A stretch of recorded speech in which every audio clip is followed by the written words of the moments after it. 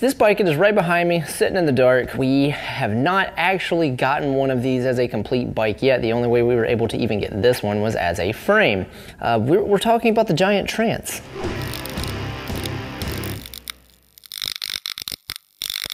So I gotta get some things out of the way first. If you do like this content, please like, subscribe, and hit that bell notification. All three of those things really help the channel.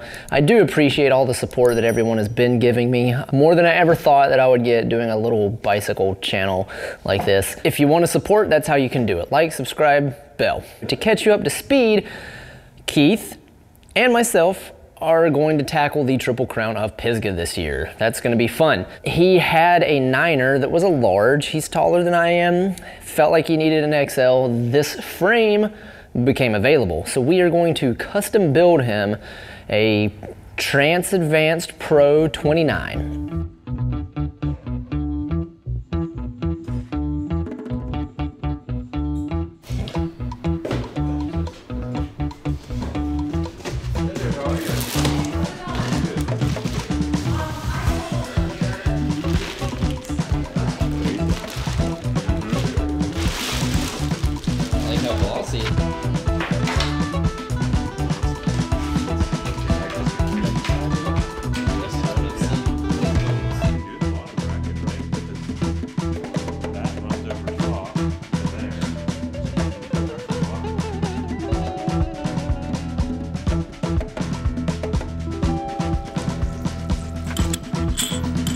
That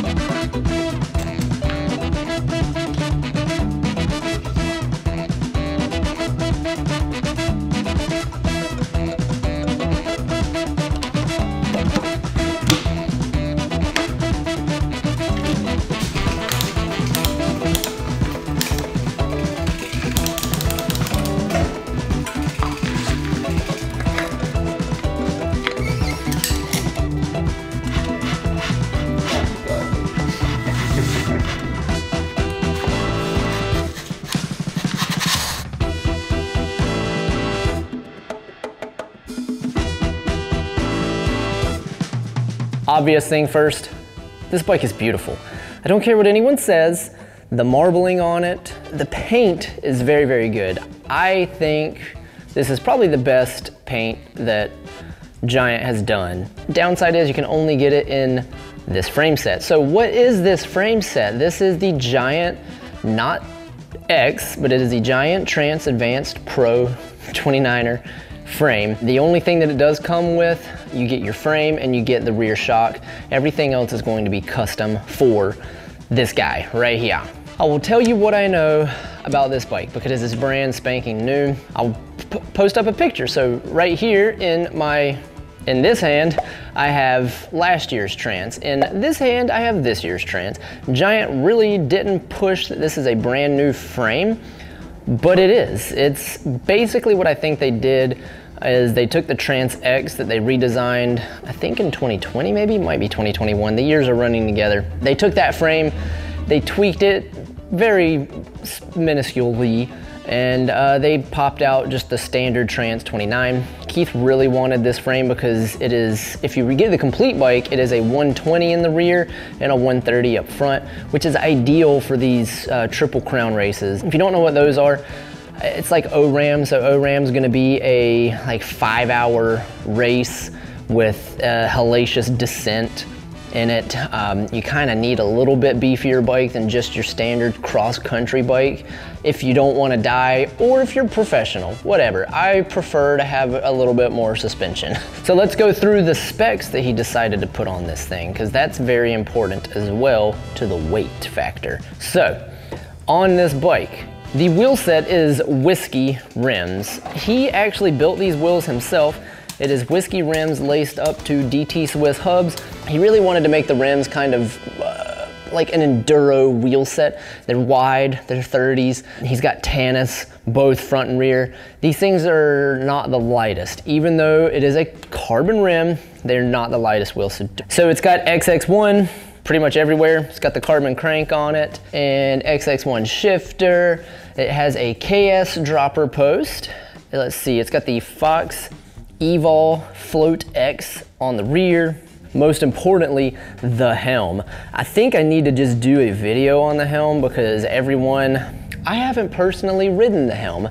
I apologize. I really need to because everyone that rides one is just like oogling over it. They love this Cane Creek helm. Keith is no exception. He loves this fork.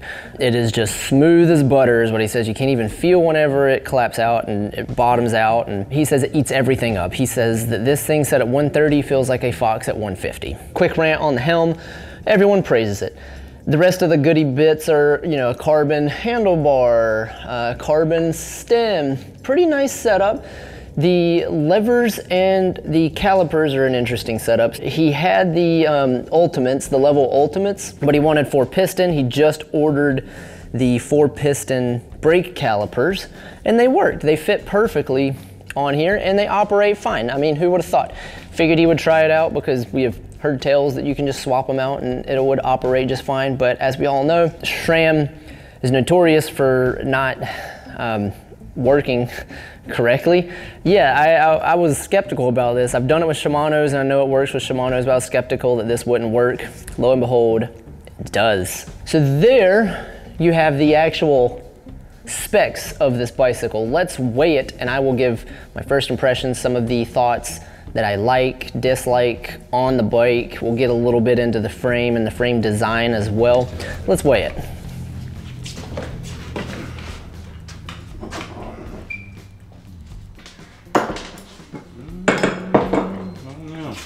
Thirty pounds. Mm-hmm. It's pretty good. How much travel was that bike? Hmm? How much travel was that bike? Uh, 130, 120. That's it? As heavy as it is at 30 pounds with carbon wheels, I was like, ooh, 30 pounds, hmm. But, but, but, I believe I can get this bike down to much less. Uh, Keith has another set of wheels that are much, much lighter. If you look at it and take it for what it actually is, it does have a heavier wheel set on it. He built this wheel set to be as beefy as possible with retaining some semblance of not being a 2,500 gram wheel set. He does have power meter pedals on this thing. They're very heavy for what they are.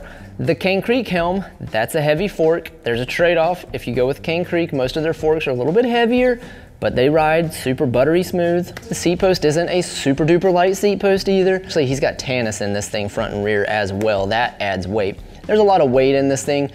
I want to investigate the weight just a little bit further before I start saying it's a heavy bike. That's all I'm saying with it and I'll leave it at that. I'm coming from racing lightweight XC bikes, so whenever I hear a bike's 30 pounds in my brain, I automatically go, dude, you're gonna pedal a 30 pound bike around? I'm trying to get my head out of the mindset of a weight weenie that's gonna just be pedaling. I'm getting there, right? That's why these races are gonna be interesting because I uh, have uh, only ridden in Wilson's. I've never been to like Brevard and ridden any of that stuff. When the Trance X came out, I thought it was one of the most beautiful frames that Giant has actually done in recent memory. I was thoroughly, thoroughly impressed with that frame. And this is essentially the Trance X frame pared down a little bit. I do believe, kind of eyeballing the two bikes, I think they've tweaked maybe the head tube angle a little bit. This frame does come with a flip chip. Again, I am not sold on the flip chip, but I think it's cool to have. Basically, you've got a high and a low setting, and it lets you choose how slacked out the bike is, uh, whether or not you want it to be better for pedaling or descending. It's a cool feature to have. Another really nifty feature that this bike has is this thing right here, the bottle cage mount. So it's got a little trap door. I've talked to some people that handle carbon a lot, people that are way smarter than me. So they're telling me that it can add maybe a quarter pound to the frame. So if you're a weight weenie, a quarter pound is a lot.